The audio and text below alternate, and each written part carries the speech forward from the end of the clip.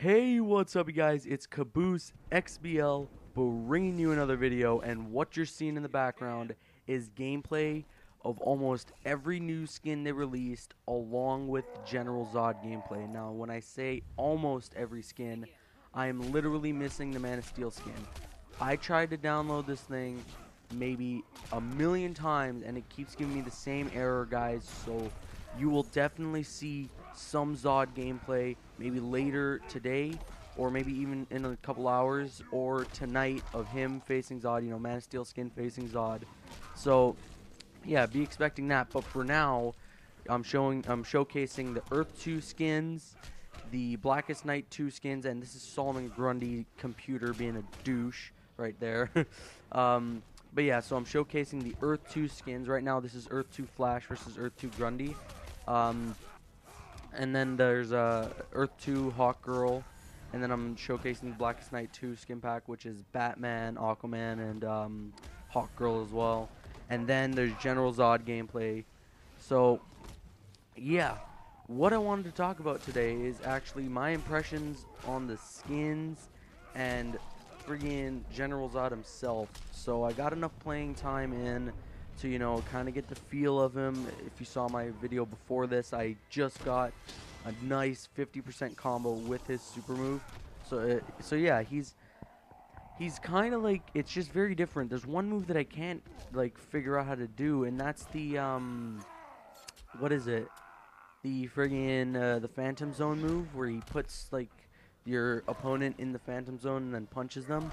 I can't figure out how to do that. I don't see it in the moves list. I'm, I might be missing something. But um, a few things maybe people want to know about. Yes, his trait doesn't just automatically hit. Uh, it's not even incredible, you know. It doesn't like the hit detection on it isn't 100%, so that's good. You know, it isn't OP as hell, but um, it is very useful for air attacks or even just to grab your opponent and to you know get them off your ass if you're really getting attacked. Um, and yeah, you just got to keep pressing B, or I believe it is down back and then B for the phantom creature to grab your opponent and bite his shoulder. You know, so yeah, it's it's triggered on your own. You know, it's manually. It it doesn't just do what it does. So it's not OP at all. It's a very useful trait, that is for sure. But at the same time, it's also very hard if you're gonna play like a ranked match or Oh yeah, and also the classic Ares skin. That's the free skin we get with the compatibility pack. Uh, but yeah, sidetrack. But um, yeah, to trigger the trait, like to start it, is very, very, you know, difficult. Especially if like you're gonna be in a player match or a ranked match. You gotta do it when your opponent's down. You know, when you got time. Otherwise, it's very unsafe. But other than that, yeah, his trait is actually really good, and it's extremely useful. That is for sure. Other things that I could talk about, Zod, um, he's he's just like I said, his stance in the trailer that I said this, his stance is a little bit distracting. You know, it's just kind of weird the whole the whole way it is. But at the same time, you know, it's just completely badass, nonchalantly beat the shit out of your opponent. Um, but yeah, it's a little bit distracting, and I'm having problems. I think this is just my controller, but I'm having problems dashing forward. Uh, so yeah, and um, a lot of his moves are just easy to to string together. You know, um, the whole Kryptonian gun, not like the like the the space gun that shoots the three bullets that launches you in the air. That is actually an incredibly good move, but it's really hard to to do anything after that. You know, the way they did in the trailer, he landed it perfectly with the back A. But for me, it's it's very it's a, it's taking a lot of trouble to land that move. So yeah, that's it's pretty hard to do some of his combos, but at the same time, you know his his you know three four hit combos that you can do, you know X X Y this and that.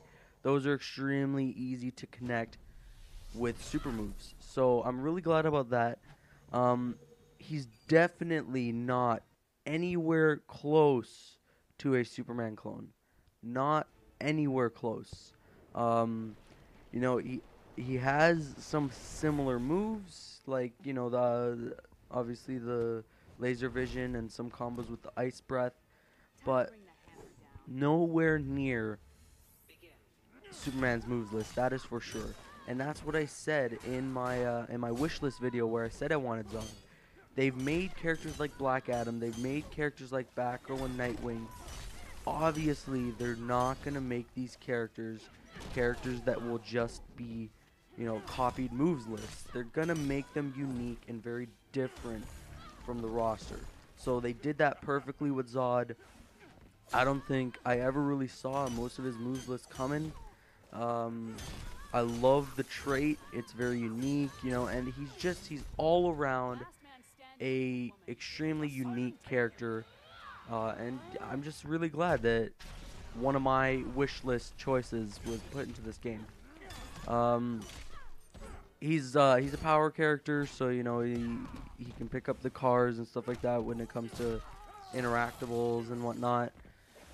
Um, and that's just about it. His grab move is awesome. I love that. Kneel before Zod. You know, who wouldn't? Uh, so yeah, that is awesome. And yeah, that's just about it for Zod.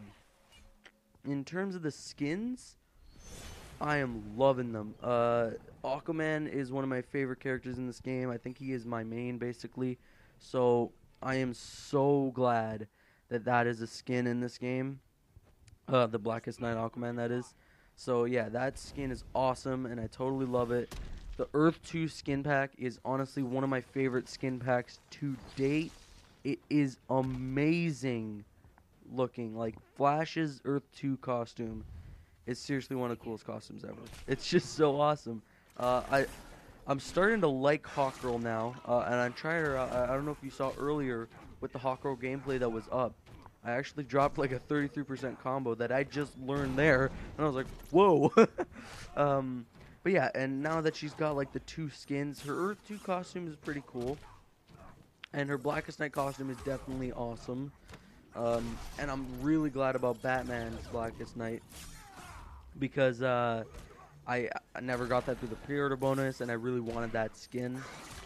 So I finally got that.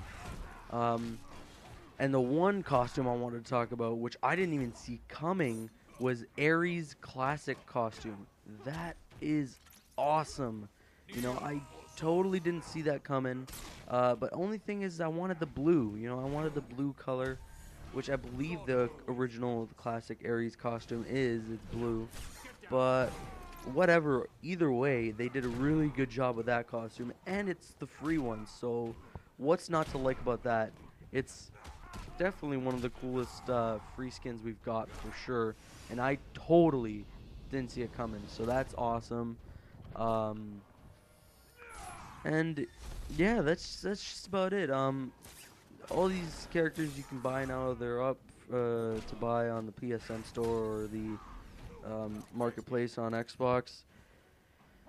And uh, they're awesome. You know, everything that came out today is actually totally worth it. I can't wait to try out the Man of Steel skin, see what it looks like and everything.